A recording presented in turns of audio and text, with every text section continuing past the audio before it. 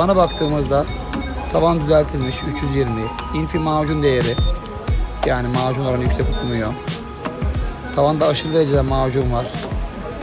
Muhtemelen mikserle beton atmışlar.